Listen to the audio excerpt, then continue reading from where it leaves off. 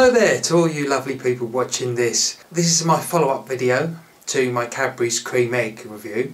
I did a review, if you haven't already watched it, about the Cadbury's Creme Egg for 2015. Cadbury's have changed the recipe of the chocolate. Where they used dairy milk before, they have changed it to using just a generic sort of chocolate and uh, it's not quite so good some people are saying so check out my review and you'll find out what that's like but I thought I'd do a follow-up video for the caramel egg because talking about the Cadbury's creme egg I thought to myself well if they've changed the chocolate of the creme egg what's to say they haven't changed the chocolate of the caramel egg? So I thought this is the first one I've tried this year.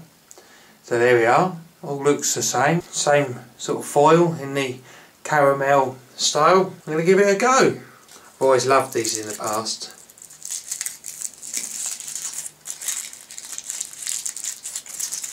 There we go. There we are. Oh, now that smells good. That smells... That smells really good.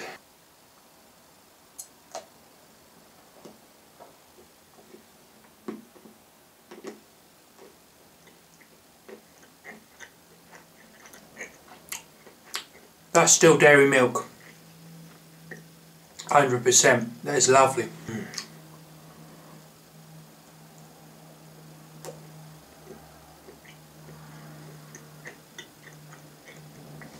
These, in my mind, are better than creme eggs.